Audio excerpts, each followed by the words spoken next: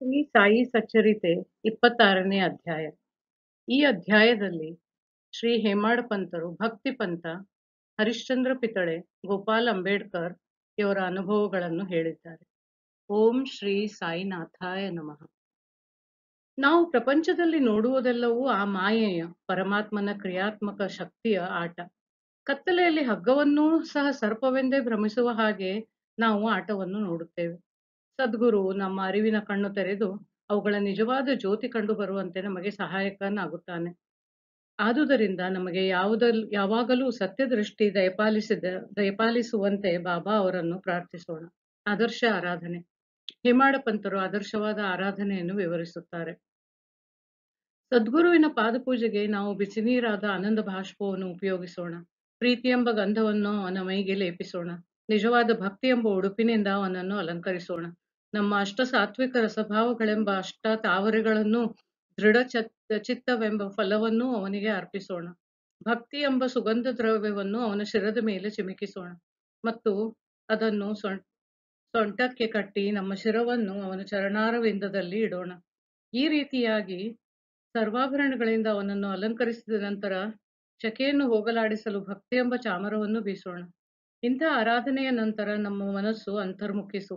ಸತ್ಯ ಮಿಥ್ಯಗಳಿರುವ ವ್ಯತ್ಯಾಸ ವಿವೇಚಿಸುವ ಸಾಮರ್ಥ್ಯ ನಮಗೆ ದಯಪಾಲಿಸಿ ಪ್ರಾಪಂಚಿಕ ವಸ್ತುವಿನ ವಸ್ತುಗಳ ಭೋಗಾಪೇಕ್ಷೆಯಲ್ಲಿ ವಿರಕ್ತಿಯನ್ನುಂಟು ಮಾಡಿ ಆತ್ಮಜ್ಞಾನವನ್ನು ಹೊಂದಲು ಸಹಾಯ ಮಾಡು. ನಾವು ನಮ್ಮ ತನು, ಮನ, ಧನಗಳನ್ನೆಲ್ಲ ನಿನಗೆ ಅರ್ಪಿಸಿ ಶರಣಾಗತರಾಗಿದ್ದೇವೆ. ನಮಗೆ ಸುಖ ದುಃಖಗಳ ಅನುಭವ ದೊರೆಯುವಂಥ ನೇತ್ರಗಳನ್ನು ದಯಪಾಲಿಸು ಮತ್ತು ನಮ್ಮ ನೇತ್ರಗಳನ್ನು ನಿನ್ನ ನೇತ್ರಗಳೆಂದೇ ಮಾರ್ಪಡಿಸು. ನಿನ್ನ ಮನಸ್ಸಿಗೆ ಬಂದಂತೆ ನಮ್ಮ ದೇಹ ಮತ್ತು ಮನಸ್ಸನ್ನು ಹತೋಟಿಯಲ್ಲಿಡು. ನಮ್ಮ ಮನಸ್ಸು ನಿನ್ನ ಪಾದ, ಪಾದಗಳಲ್ಲಿ ಶಾಂತಿಯಿಂದಿರಲಿ ಎಂದು ನಾವೆಲ್ಲರೂ ಪ್ರಾರ್ಥಿಸೋಣ. ಭಕ್ತಿ ಪಂಥ. ಬೇರೊಬ್ಬ ಗುರುವಿನ ಶಿಕ್ಷರಾದ ಪಂತ್ ಎಂಬುವವರು ಒಮ್ಮೆ ಶಿರಡಿಗೆ ಬರುವ ಸಂದರ್ಭ ಬಂದಿತ್ತು. ಅವರಿಗೆ ಶಿರಡಿಗೆ ಬರುವ ಮನಸ್ಸು ಇದ್ದಿರಲಿಲ್ಲ. ಆದರೆ ಮಾನವನು ಎಣಿಸುವುದೊಂದು, ದೈವ ಬಗೆಯುವುದೊಂದು.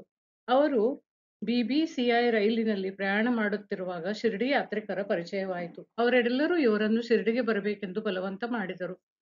ಉಪಾಯವಿಲ್ಲದೆ ಒಪ್ಪಿಕೊಳ್ಳಬೇಕಾಯಿತು. ಅವರೆಲ್ಲರೂ ಮುಂಬೈಯಲ್ಲಿ ಇಳಿದರು. ಆದರೆ ಪಂತರು ವಿರಾರಿನಲ್ಲಿ ಇಳಿದು ತಮ್ಮ ಗುರುವಿನ ಅಪ್ಪಣೆ ಪಡೆದು ಪುನಃ ಯಾತ್ರಿಕರ ಗುಂಪನ್ನು ಸೇರಿ ಶಿರಡಿಗೆ ಬಂದರು. ಮಾರನೇ ದಿನ ಮಸೀದಿಗೆ ಬಂದರು. ಬಾಬಾ ಅವರ ಹತ್ತಿರ ನೆರೆದಿದ್ದ ಭಕ್ತರ ಸಮುದಾಯವನ್ನು ಕಂಡು ಎಲ್ಲರೂ ಆನಂದಿಸಿದರು. ಆದರೆ ಪಂತರು ಮಾತ್ರ ಮೈ ಮರೆತು ಮೂರ್ಛೆ ಹೋದರು. ಅವರನ್ನು ಮೂರ್ಛೆಯಿಂದ ಎಚ್ಚರಿಸಲು ಬಹಳ ಜನ ಪ್ರಯತ್ನ ಪಟ್ಟರು. ಆದರೆ ಬಾಬಾ ಅವರು ದಯೆಯಿಂದ ಅವರ ಮೇಲೆ ನೀರು ಚಿಮುಕಿಸಲು ಪ್ರಜ್ಞೆ ಬಂದು ನಿದ್ರೆಯಿಂದ ಕಣ್ಣು ತಿಕ್ಕುತ್ತಾ ಎದ್ದು ನಿಂತರು. ಇವರು ಬೇರೊಬ್ಬ ಗುರುವಿನ ಭಕ್ತರೆಂದು ಅರಿತ ಸರ್ವಜ್ಞರಾದ ಬಾಬಾ ಅವರಿಗೆ ಅವರಿಗೆ, ಏನೇ ಬರಲಿ, ನಿನ್ನ ಆಧಾರವಾದ ಗುರುವನ್ನು ಭದ್ರವಾಗಿ ಹಿಡಿದುಕೋ, ಬಿಡಬೇಡ. ನಿಶ್ಚಲವಾಗಿ ಅವನೊಡನೆ ಐಕ್ಯವಾಗಿರು ಎಂದು ಹೇಳಿ ಅವರಿಗೆ ತಮ್ಮ ಗುರುವಿನಲ್ಲಿದ್ದ ನಂಬಿಕೆಯನ್ನು ದೃಢಪಡಿಸಿದರು. ಪಂತರು ಈ ಮಾತಿನ ಅರ್ಥವನ್ನು ಗ್ರಹಿಸಿ ಗ್ರಹಿಸಿ ತಮ್ಮ ಗುರುಗಳನ್ನು ಸ್ಮರಿಸಿದರು. ಬಾಬಾ ಅವರ ಈ ದಯೆಯನ್ನು ಪಂತರು ತಮ್ಮ ಜೀವಮಾನದಲ್ಲೇ ಮರೆಯಲಿಲ್ಲ. ಹರಿಶ್ಚಂದ್ರ ಮುಂಬೈಯಲ್ಲಿ ಹರಿಶ್ಚಂದ್ರ ಪಿತಳೆಯವರ ಮಗನಿಗೆ ಆಗಾಗ್ಗೆ ಮಲರೋಗ ಬರುತ್ತಿತ್ತು. ಪರದೇಶಿ ಮತ್ತು ಆಯುರ್ವೇದದ ವೈದ್ಯರಿಂದ ಔಷಧ ಕೊಡಿಸಿದರೂ ಗುಣ ಕಂಡು ಬರಲೇ ಇಲ್ಲ. ಸಂತರನ್ನು ಮೊರೆ ಹೋಗುವುದೇ ಒಂದು ಒಂದು ಚಿಕಿತ್ಸಾ ಕ್ರಮ ಉಳಿಯಿತು. ದಾಸಗಣವರ ಕೀರ್ತನೆಯಿಂದ ಬಾಬಾ ಅವರ ಕೀರ್ತಿ ಮುಂಬೈ ಪ್ರಾಂತದಲ್ಲೆಲ್ಲ ಹರಡಿತು. ಈ ಮೊದಲೇ ತಿಳಿಸಲಾಗಿದೆ. ಈ ಕೀರ್ತಿಗಳನ್ನು ಕೇಳಿದ ಪಿತಳೆಯವರು ಬಾಬಾ ಅವರ ದರ್ಶನ ಮಾತ್ರದಿಂದಲೇ ಸರ್ವ ರೋಗ ನಿವಾರ ನಿವಾರಣೆ ಆಗುವುದೆಂದು ಭಾವಿಸಿ ಒಂದು ಬುಟ್ಟಿ ತುಂಬಾ ಹಣ್ಣುಗಳನ್ನು ತೆಗೆದುಕೊಂಡು ಕುಟುಂಬ ಸಮೇತ ಶಿರಡಿಗೆ ಬಂದರು. ಮಸೀದಿಗೆ ಹೋಗಿ ತಮ್ಮ ರೋಗ ಪೀಡಿತ ಮಗನನ್ನು ಬಾಬಾ ಅವರ ಮುಂದೆ ಪಾದದ ಬಳಿ ಮಲಗಿಸಿ ಅವರ ಮುಂದೆ ಧ್ಯಾನಾಸಕ್ತರಾಗಿ ಕುಳಿತರು. ಬಾಬಾ ಅವರು ಆ ಹುಡುಗನನ್ನು ನೋಡಿದ ಕೂಡಲೇ ಅವನ ಪರಿಸ್ಥಿತಿ ಕೆಟ್ಟಿತು. ಹುಡುಗನು ಕಣ್ಣಿನ ಗುಡ್ಡೆ ಮೇಲೆತ್ತಿ ಹೊರಳಿಸಿ ನಿಶ್ಚೇತನಾಗಿ ಬಿದ್ದು ಬಿಟ್ಟನು ಅವನು ಉಸಿರನ್ನು ತ್ಯಜಿಸುವನೋ ಎಂಬಂತೆ ಮೈಯೆಲ್ಲ ಬೆವತು ಬಾಯಿಯಿಂದ ನೊರೆ ಬರಲಾ ಆರಂಭಿಸಿತು. ಇದನ್ನು ನೋಡಿ ಮಾತಾಪಿತೃಗಳು ಗಾಬರಿಗೊಂಡರು. ಈ ತರದ ರೋಗ ಹುಡುಗನಿಗೆ ಸ್ವಲ್ಪ ಕಾಲದಿಂದ ಆಗಾಗ್ಗೆ ಬರುತ್ತಿತ್ತು. ಈಗ ಅದರ ಅವಧಿ ಹೆಚ್ಚಾಯಿತು. ದರೋಡೆಯನ್ನು ಮಾಡಲು ಹೊರಟ ಕಳ್ಳನ ಮೇಲೆ ಆ ಮನೆಯೇ ಉರುಳಿ ಬಿದ್ದಂತೆಯೂ, ವ್ಯಾಘ್ರದ ಹೆದರಿಕೆಯಿಂದ ಓಡುತ್ತಿದ್ದ ಗೋವು ಕಟುಕನ ಕೈಗೆ ಸಿಕ್ಕಂತೆಯೂ, ಬಿಸಿಲಿನ ಬೇಗೆಯನ್ನು ತಡೆಯಲಾರದೆ ವೃಕ್ಷದ ನೆರಳಿನಲ್ಲಿ ನಿಂತು ವಿಶ್ರಾಂತಿ ಪಡೆಯಲು ಹೋದ ಪ್ರಯಾಣಿಕನ ಮೇಲೆ ಆ ವೃಕ್ಷವೇ ಉರುಳಿ ಬಿದ್ದಂತೆಯೋ ಪರಮ ಭಕ್ತನು ಪೂಜೆ ಮಾಡಲು ದೇವಾಲಯಕ್ಕೆ ಹೋದಾಗ ಆ ದೇಗುಲವೇ ಅವನ ಮೇಲೆ ಮೊಗಚಿದಂತೆಯೋ ಆ ಹುಡುಗನ ತಾಯಿ ಚಿಂತಾಕ್ರಾಂತರಾಗಿ ರೋಧಿಸಿದಳು. ಇದನ್ನು ಕಂಡು ಬಾಬಾ ಅವರು, ಅಮ್ಮ ಏಕೆ ಹೀಗೆ ರೋಧಿಸುತ್ತಿ? ಅಳುವುದನ್ನು ನಿಲ್ಲಿಸು. ನಿನ್ನ ಮಗನನ್ನು ಮನೆಗೆ ಕರೆದುಕೊಂಡು ಹೋಗು. ಸ್ವಲ್ಪ ಹೊತ್ತಿನಲ್ಲಿ ಅವನಿಗೆ ಪ್ರಜ್ಞೆ ಬರುತ್ತದೆ ಎಂದು ಹೇಳಿ ಸಮಾಧಾನ ಮಾಡಿದರು. ಬಾಬಾ ಅವರ ಆಜ್ಞೆಯನ್ನು ಪರಿಪಾಲಿಸಿದ ಸ್ವಲ್ಪ ಸಮಯದಲ್ಲಿಯೇ ಬಾಬಾ ನುಡಿದ ಪ್ರಕಾರ ಹುಡುಗನಿಗೆ ಪ್ರಜ್ಞೆ ಬಂದಿತು. ನಂತರ ಅವರೆಲ್ಲರೂ ಅನುಮಾನರಹಿತರಾಗಿ ಬಾಬಾ ಅವರಿಗೆ ಬಳಿಗೆ ಬಂದು ನಮಸ್ಕರಿಸಿದರು. ಆಗ ಬಾಬಾ ಅವರು, ನಿಮ್ಮ ಅನುಮಾನ ಶಂಕೆ ಎಲ್ಲವೂ ದೂರವಾಯಿತೆ? ಈಗ ಶಾಂತಿ ಹೊಂದಿದಿರಾ ಶ್ರೀ ಹರಿಯಲ್ಲಿ ದೃಢವಾದ ನಂಬಿಕೆ ಮತ್ತು ಅಚಲ ವಿಶ್ವಾಸ ಇಟ್ಟವರನ್ನು ಅವನು ಕಾಪಾಡುವನು ಎಂದರು. ನಂತರ ಪಿತಳೆಯವರು ಎಲ್ಲರಿಗೂ ಸಿಹಿ ತಿನಿಸನ್ನು ಹಂಚಿದರು. ಬಾಬಾ ಅವರಿಗೆ ಒಳ್ಳೆಯ ಫಲ, ಪುಷ್ಪ, ವೀಳ್ಯವನ್ನು ಭಕ್ತಿಪೂರ್ವಕವಾಗಿ ಅರ್ಪಿಸಿದರು. ಶ್ರೀಮತಿ ಪಿತಳೆಯವರು ಸಾತ್ವಿಕರಾಗಿ ದೇವರಲ್ಲಿ ಭಕ್ತಿ ಇಟ್ಟಿದ್ದರು. ಬಾಬಾ ಅವರನ್ನೇ ದಿಟ್ಟಿಸಿ ನೋಡುತ್ತಾ ಆನಂದ ಬಾಷ್ಪಗಳನ್ನು ಸುರಿಸುತ್ತಾ ಕಂಬಕ್ಕೆ ಹೊರಗೆ ಕೊಂಡು ಕುಳಿತಿದ್ದರು. ಇವರ ಅಪೂರ್ವ ಭಕ್ತಿ ವಾತ್ಸಲ್ಯಗಳಿಗೆ ಬಾಬಾ ಮನಸೋತರು. ಪರಮಾತ್ಮನ ಹಾಗೆ ಸಂತರೂ ಸಹ ಆರಾಧಿಸುವವರ ಅಧೀನರು.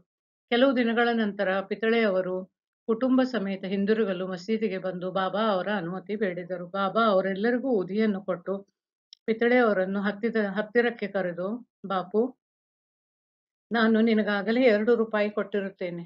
ಈ ಮೂರು ರೂಪಾಯಿಯನ್ನು ತೆಗೆದುಕೋ. ಇವುಗಳೆಲ್ಲವನ್ನೂ ಸಹ ಪ್ರತಿದಿನ ಪೂಜೆ ಮಾಡುತ್ತಾ ಹೋಗು. ಪರಮಾತ್ಮನು ನಿನಗೆ ಒಳ್ಳೆಯದನ್ನು ಮಾಡುತ್ತಾನೆ ಎಂದರು. ಪಿತಳೆ ಹಣವನ್ನು ಪ್ರಸಾದವಾಗಿ ಸ್ವೀಕರಿಸಿ ಬಾಬಾ ಅವರ ಆಶೀರ್ವಾದ ಪಡೆದರು. ನಂತರ, ಬಾಬಾ, ನನಗಾಗಲೇ ಎರಡು ರೂಪಾಯಿ ಕೊಟ್ಟಿದ್ದೇನಂತಾರಲ್ಲ, ಅದು ಹೇಗೆ? ನಾನು ಶಿರಡಿಗೆ ಬರುತ್ತಿರುವುದು ಇದೇ ಮೊದಲು, ಇದರ ಅರ್ಥವೇನು? ಎಂದು ಯೋಚನಾ ಮಗ್ನರಾದರು. ಬಾಬಾ ಅವರು ಸಹ ಸುಮ್ಮನಿದ್ದರು ಪಿತಳೆಯವರು ಮುಂಬೈಗೆ ಬಂದು ಶಿರಡಿಯಲ್ಲಿ ನಡೆದುದೆಲ್ಲವನ್ನು ತನ್ನ ತಾಯಿಗೆ ಹೇಳಿದರು. ಬಾಬಾ, ಅವರ ಆಗಲೇ ಎರಡು ರೂಪಾಯಿ ತಮಗೆ ಕೊಟ್ಟಿರುವೆನೆಂದು ಹೇಳಿದ್ದನ್ನು ಸಹ ತಾಯಿಗೆ ತಿಳಿಸಿದರು. ಅವರ ತಾಯಿಯೂ, ತಾಯಿಗೂ ಸಹ ಮೊದಲು ಅರ್ಥವಾಗಲಿಲ್ಲ. ಸ್ವಲ್ಪ ಹೊತ್ತು ಯೋಚಿಸಿದ ನಂತರ ಅವರಿಗೆ ಹಳೆಯದೊಂದು ಘಟನೆ ನೆನಪಿಗೆ ಬಂತು. ಮಗನನ್ನು ಕುರಿತು, ನೀನು ಹೇಗೆ ಮಗನೊಡನೆ ಈಗ ಶಿರಡಿಗೆ ಹೋಗಿ ಬಂದಿರುವೆಯೋ, ಅದೇ ರೀತಿ ನಿನ್ನ ತಂದೆಯವರೂ ಸಹ ನಿನ್ನೊಡನೆ ಅಕ್ಕಲಕೋಟೆ ಮಹಾರಾಜನ ದರ್ಶನ ಪಡೆಯಲು ಹೋಗಿದ್ದರು. ಆಗ ನಿಮ್ಮ ತಂದೆಯವರಿಗೆ ಎರಡು ರೂಪಾಯಿಗಳನ್ನು ಕೊಟ್ಟು ಅಕ್ಕಲಕೋಟೆ ಮಹಾರಾಜರು ಪೂಜಿಸಲು ಹೇಳಿದ್ದರು. ಅವರೂ ಸಹ ಶುದ್ಧ ಸಾತ್ವಿಕ ಯೋಗಿಗಳು, ಮಹಾಜ್ಞಾನಿಗಳು ಮತ್ತು ಸಿದ್ಧ ಪುರುಷರು ಆಗಿದ್ದರು. ನಿಮ್ಮ ತಂದೆಯವರು ಅವರ ಕೊನೆಯ ದಿನಗಳವರೆಗೆ ಅವುಗಳನ್ನು ಪೂಜಿಸುತ್ತಲೇ ಇದ್ದರು. ನಂತರ ಪೂಜೆ ನಿಂತು ಹೋಯಿತು. ಕೆಲವು ಕಾಲದ ಮೇಲೆ ನಮಗೆ ಆ ರೂಪಾಯಿಗಳ ನೆನಪೇ ಬರಲಿಲ್ಲ. ಅಕ್ಕಲಕೋಟೆ ಮಹಾರಾಜರೇ ಬಾಬಾ ಅವರ ರೂಪದಲ್ಲಿ ಅವತರಿಸಿ ನಿನ್ನ ಕರ್ತವ್ಯವನ್ನು ನಿನಗೆ ಜ್ಞಾಪಿಸುತ್ತಾರೆ. ನೀನೇ ಅದೃಷ್ಟಶಾಲಿ. ಆದುದರಿಂದ ಇನ್ನು ಮುಂದೆ ನಿನ್ನ ಅನುಮಾನಗಳೆಲ್ಲವನ್ನೂ ತ್ಯಜಿಸು. ಒಳ್ಳೆಯ ನಡತೆಯುಳ್ಳವನಾಗು. ಕುಲದೇವರನ್ನು ಮತ್ತು ಎರಡು ರೂಪಾಯಿಗಳನ್ನು ಪೂಜಿಸುತ್ತಾ ನಡೆ ಸಂತರ ಆಶೀರ್ವಾದವೇ ಶ್ರೇಷ್ಠವೆಂದು ಬಗೆದು ಸರಿಯಾದ ಜ್ಞಾನ ಮಾರ್ಗವನ್ನು ಅವಲಂಬಿಸು. ದಯಾಮಯನಾದ ಶ್ರೀ ಸಾಯಿ ಸಮರ್ಥರು ನಿನ್ನಲ್ಲಿ ಭಕ್ತಿಯನ್ನು ಪುನರುತ್ಥಾನ ಮಾಡುತ್ತಾರೆ ಎಂದರು. ಮಾತೆಯ ನುಡಿಗಳನ್ನು ಕೇಳಿ ಪಿತಳೆಯವರು ಹರ್ಷಭರಿತರಾದರು. ಅಂಬೇಡ್ಕರ್. ಗೋಪಾಲರಾವ್ ಅಂಬೇಡ್ಕರ್ ಎಂಬುವರು ಬಾಬಾ ಅವರ ಭಕ್ತರಾಗಿದ್ದರು. ಅವರು ಠಾಣಾ ಜಿಲ್ಲೆಯಲ್ಲಿ ಅಬಕಾರಿ ಇಲಾಖೆಯಲ್ಲಿ ಹತ್ತು ವರ್ಷ ಕೆಲಸ ಮಾಡಿ ನಂತರ ಜವಾರ್ನಲ್ಲಿ ನೌಕರಿಯಿಂದ ನಿವೃತ್ತರಾದರು ಬೇರೆ ಕೆಲಸ ಹುಡುಕಿ ವಿಫಲರಾದರು. ಅನೇಕ ತೊಂದರೆಗಳು ಮೇಲಿಂದ ಮೇಲೆ ಉಂಟಾದ್ದರಿಂದ ಅವರು ಬಹಳ ದುಃಖದಿಂದಿದ್ದರು.